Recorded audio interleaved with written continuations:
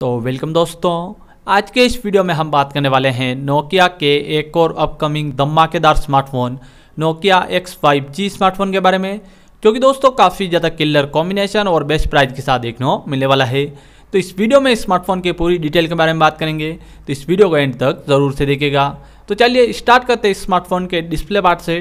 तो आपको इसमें 5.5 पॉइंट की full HD plus AMOLED display देखने मिलने वाली है।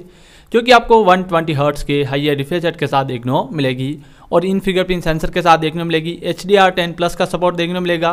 पेजरलेस डिस्प्ले देखने मिलने वाली है। गोडला ग्लास विक्टर्स का प्रोटेक्शन देखने को मिलेगा। तो ओवरऑल दोस्तों डिस्प्ले एक्सपीरियंस आपका काफ़ी ज़्यादा बेस्ट रहने वाला है। और नेक्स्ट स्मार्टफ़ोन में आपको Qualcomm Snapdragon eight generation one plus chipset देखने को मिल जाता है, जो कि फाइव जी बेज एक फ्लैगशिप चिपसेट रहने वाला है।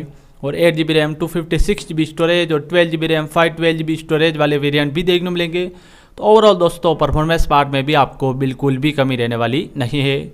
और नेक्स्ट हम स्मार्टफ़ोन के कैमरा पार्ट की बात करें तो आपको इसमें 64 प्लस 16 मेगापिक्सल का डुअल रियर कैमरा सेटअप देखने मिलेगा और साथ ही 16 प्लस 8 मेगापिक्सल का डुअल सेल्फी कैमरा भी मिलने वाला है।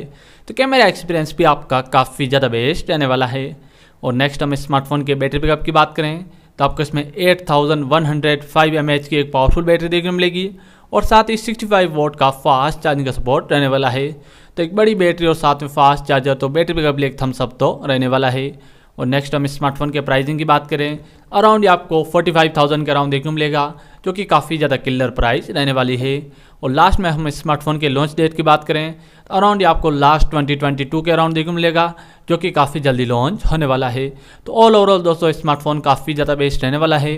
और दोस्तों स्मार्टफ़ोन के बारे में आपको कोई ओपिनियन हो तो मुझे कमेंट बॉक्स में ज़रूर बताइएगा। और स्मार्टफ़ोन को अगर आप खरीदना चाहते हैं तो मैं इसका परचेस लिंक आपको डिस्क्रिप्शन बॉक्स में दे दूँगा। आप वहाँ से इसे परचेस कर सकते हैं। तो purchase link in the description